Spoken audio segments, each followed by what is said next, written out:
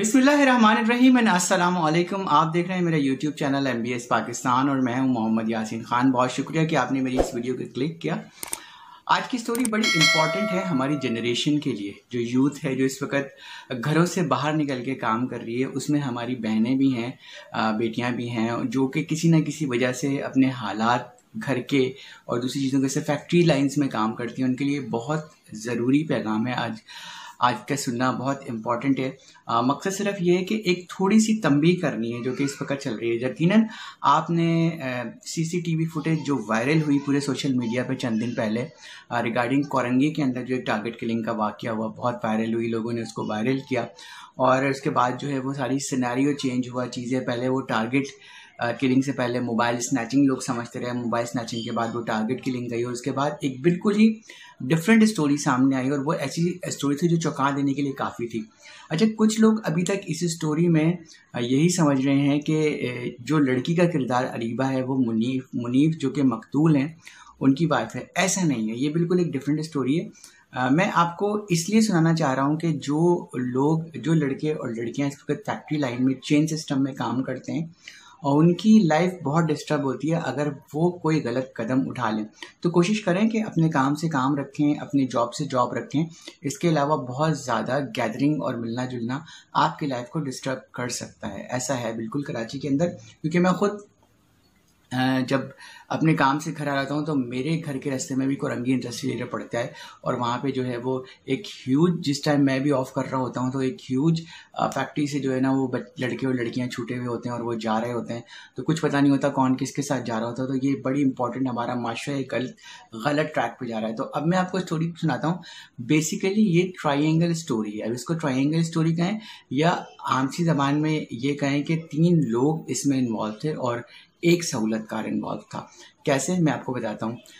ये कहानी स्टार्ट होती है एक फैक्ट्री के अंदर जो लोग काम करते हैं, उनमें तीन लोग मौजूद हैं। अरीबा, एक लड़की है, शाहरुख, एक लड़का और है, और मुनीफ। ये तीनों एक ही जगह पे काम कर रहे होते हैं। अच्छा जी, अब जो ये लड़की है अरीबा अच्छा जो मैं ये स्टोरी आपको बयान कर रहा हूँ, या स्टोरी जो सुना रहा हूँ ये अभी तक की तमाम रिपोर्ट्स और चीज़ों को चेक करते हुए मैंने स्टोरी निकाली है। हो सकता है कल को किसी को कुछ पैसे खिला के और स्टोरी को चेंज कर दिया जाए तो आप मुझे ये ना कीजिएगा कि मैंने कोई गलत स्टोरी बनाई है। स्टोरी अभी तक ये ऑथेंटिक है, जो कुछ रिसीव हुई है, चीज़ें मेरे पास व्हाट्सअप से चीज़ें आई हैं, जो आई हैं उसके हिसाब से कि अरीबा जो लड़की है बेसिकली ये ही प्लानर है इस मर्डर का, जो कि बेसिकली हुआ है। अगर देखा जाए कैसे? क्योंकि अरीबा के ताल्लुकात थे मुनीफ के साथ, जो बंदा इस दुनिया से चला गया है, जिसको मार दिया गया।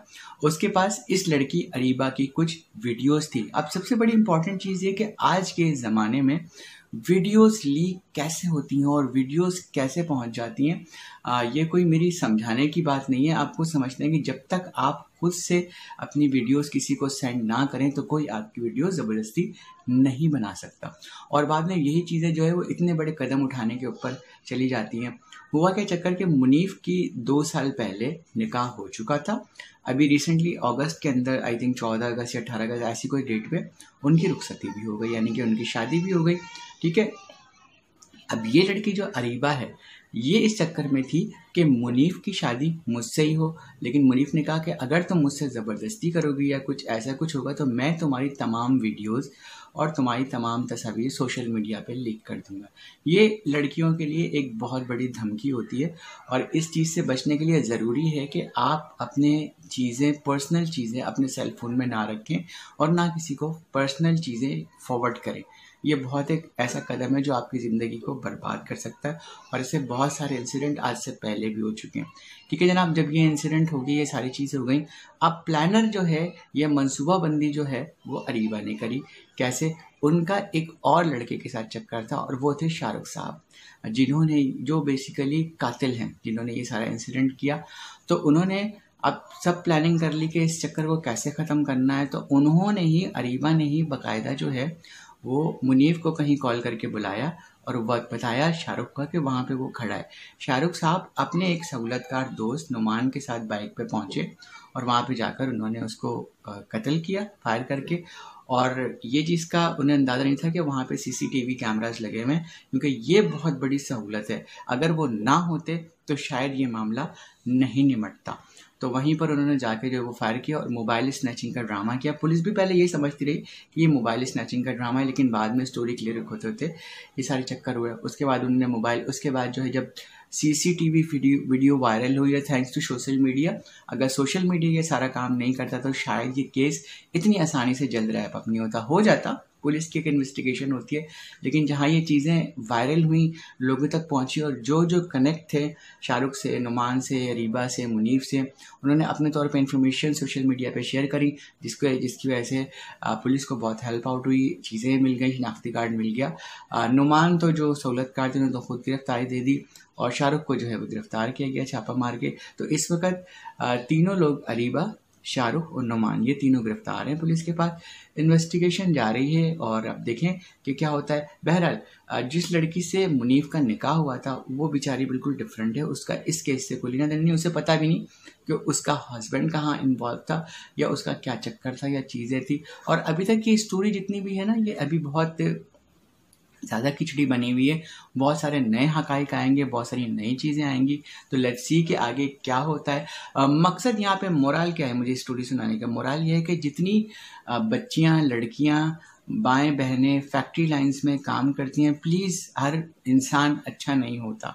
हमारा मज़हब और हमारा मास्टर वैसे भी मर्दों की दोस्तियों को इतना ज़्यादा पसंद लेकिन आपकी प्रॉब्लम ये है कि काम कर रहे होते हैं चेन सिस्टम होता है, बात तो की जाती है, सब कुछ की जाती है, लेकिन बहरहाल आपकी इज़्ज़त आपके हाथ में है। आप जितना अपने आप को कवर करके चलेंगे, उतना बेहतर है, क्योंकि ये मास्टरा भेड़ियों का है। अभी मरवा का केस आप बच्ची का आपके सामने है, और बहुत सारी चीज़ें आ रही हैं। तो ये सब चीज़ें आप समझें कि ये मर्दों का मास्टर है, और ये हर इंसान अच्छा नहीं होता। बहरहाल, जो चीज़ आप बेहतर समझती हैं, वो करें, लेकिन कोशिश करें कि फैक्ट्री लाइंस के अंदर इस तरह के ताल्लुक ना बनाएँ। इस तरह के हर बंदा अच्छा नहीं होता, हर बंदा ट्रस्टेबल नहीं होता और फिर ये सब चीज़ें इस तरह के इंसिडेंट होना बहुत आम सी बात है। बस मैं यही पैगाम था जो मैं आज के इस वक्त के हमारी जो बच्चियाँ हैं, ख़वातीन हैं, उनको मैसेज देना का और फिर इस तरह के इंसिडेंट होते हैं, इस तरह के वाक़ात होते हैं और सबसे इंपॉर्टेंट चीज़, सबसे इंपॉर्टेंट चीज़ अपनी पर्सनल चीज़ें किसी को व्हाट्सअप ना करें। अपनी पर्सनल वीडियोस किसी को व्हाट्सअप ना करें। हो सकता है कि आपकी वीडियो में कोई ऐसी चीज़ नहीं हो, लेकिन इस वक्त, इस शहर के अंदर, इस मुल्क के अंदर, इस दुनिया के अंदर बहुत ज़्यादा चीते लोग बैठे हुए हैं जो आपकी वीडियो का कुछ से कुछ बना देते हैं, जो आपको भी देख के बिलीव नहीं होता कि मेरे साथ हो क्या गया। तो बहुत सारी ऐसी चीज़ें जो खुदारा खुदारा अननोन बंदे को ऐसे बंदे को अगर आपको कोई अच्छा लगता है, कोई पसंद है तो अपनी फैमिली से कांटेक्ट करें, अपनी फैमिली से बात करें। डायरेक्ट जो सिस्टम है, जो हमारा मास्टर एक सिस्टम देता है कि तो वो एक चक्कर है। खुद से अप्रोच करना, खुद से चीज़ें करना। मैं कभी कभी शहर फैसल से आ रहा होता हूँ। तो वो जो ग्रीन बेल्ट का एरिया है, रात को दस बजे वहाँ पे बाइकें खड़ी होती हैं और लोग बैठे होते हैं। कौन लोग हैं? कहाँ से आते हैं? कैसे होता है? तो माशरा किस तरफ़ जा रहा है? सोसाइटी किस तरफ़ जा रही है? इसे कम से कम कुछ ना कुछ रिस्पॉन्सिबिलिटी हमारी है। हम किस तरह से समझा सकते हैं? तो मैं इस चैनल के थ्रू लोगों को बता सकता हूँ रियलिटी बता सकता हूँ कि एंड फिर यही होता है। एंड यही होता है। बहुत से लोग आके ये कहते हैं, कह रहे हैं कि मेरी वीडियोस जो मैंने अपने फेसबुक पे अपलोड करी वो कहते हैं, यार, बंदा तो चला गया, आप उसको जलील क्यों कर रहे हो? अगर ये सोशल मीडिया नहीं होता जनाब, अगर ये सोशल मीडिया ये सब चीज़ें वायरल नहीं करता तो ये केस इतनी जल्दी रैप अप नहीं होता, ये भी मैं आपको बता दूँ। ये सोशल मीडिया अगर पॉजिटिव वे में चलता है तो हम ही पुलिस और थानों की हेल्प कर सकते हैं, लोग कर सकते हैं, जैसे करते हैं। तो ये चीज़ें बड़ी इंपॉर्टेंट है। अब जो हो गया, सो हो गया। Just wait for the investigation और लेट्स सी के क्या होता है। बहरहाल जो भी होगा, वो पुलिस और गवर्नमेंट की तरफ़ से जो बेहतर फैसला होगा, वो होगा। यहाँ मैं अपनी वीडियो को वाइंड अप करता हूँ इस दुआ के साथ कि आप जहाँ रहें, खुश रहें और मेरे इस पैगाम को पॉजिटिव लेके स्प्रेड कीजिए और अगर आपने मेरे इस वीडियो को अच्छा लगा है तो मेरे चैनल को सब्सक्राइब कर लीजिएगा बेल आइकॉन प्रेस कीजिएगा ताकि नोटिफिकेशन आपको मिलता रहे। फिर किसी और वीडियो के साथ, किसी और मैसेज के साथ हाजिर होंगे जब तक के लिए अल्लाह हाफिज़।